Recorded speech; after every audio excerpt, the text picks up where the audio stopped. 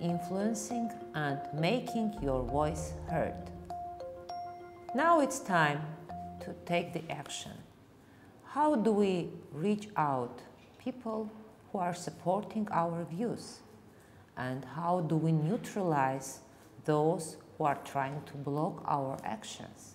What generally makes people change their minds? There is no definite answer to this question, but there is a number of research that has been done in the cognitive science to answer this question. When you are trying to establish a point of view and you support it very eagerly, you are basically trying to escape from any effort, any communication, they may change your point of view. You react to it very aggressively. So if you start trying to convince people who are eagerly opposing you, if you try to make them change their minds, you may face that different reaction. They will try to become aggressive. They will try to prove that they are right. They will defend their rightness in any possible way. So it's better try not to touch them at this stage of the advocacy. Basically, what you have to do, you have to do several things. First, you have to reach out those who are undecided. Those are main targets of the advocacy. If you turn them into your supporters, you will make the advocacy more powerful and reach out more people. Second thing, you have to uh, mobilize your supporters, those who are already sharing your views.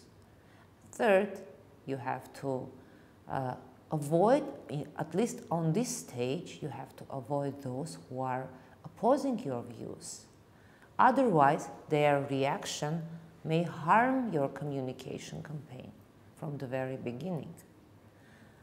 Next step would be to use a celebrity or a trusted person to communicate your messages. Try to use those who enjoy public support to communicate your messages. That's the reason why some organizations are using celebrities are their public speakers.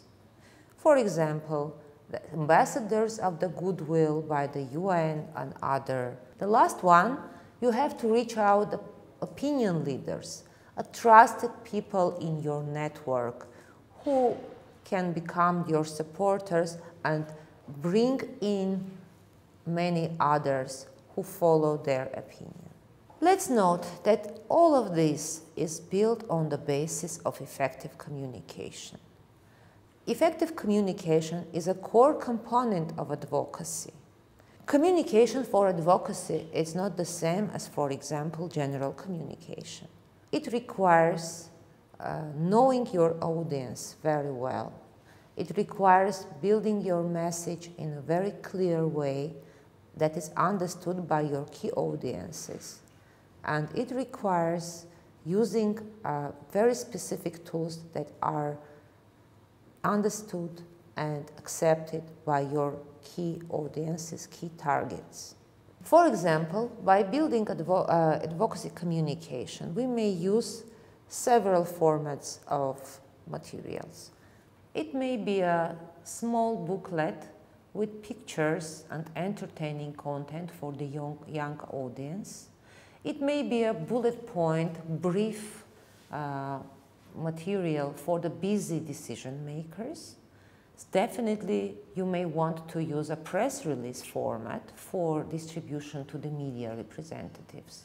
And of course, to the important decision makers that require a lot of evidence about your advocacy, you may prepare an extended large report with a lot of factual materials in it what tools may be used to communicate effectively. Those are leaflets and other materials, posters and advertisements, workshops and public hearings, flash mobs and street events, press events and media gatherings, and other formats that you may find appropriate. Now let's briefly touch on the important issue that we call lobbying. Lobbying is a process of reaching out politicians and decision makers directly in person. Lobbyists are people who are professionally doing it on behalf of the organizations, citizens, and civil groups. When you begin advocacy, uh, there is a moment where you definitely need to arrange a face-to-face -face meeting with the decision maker or a person who may affect tremendously the success of your campaign. That's why you have to be prepared for the meeting and wear a hat of the lobbyist.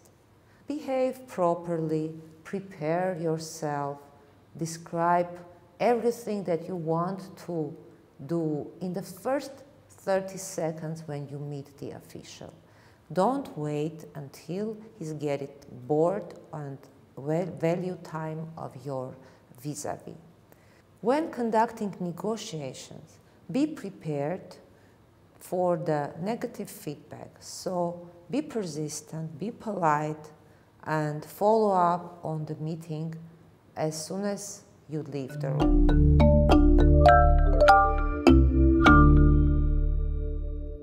Please pay attention to the materials that are attached to this course, use them, and I wish you all the success in your advocacy efforts.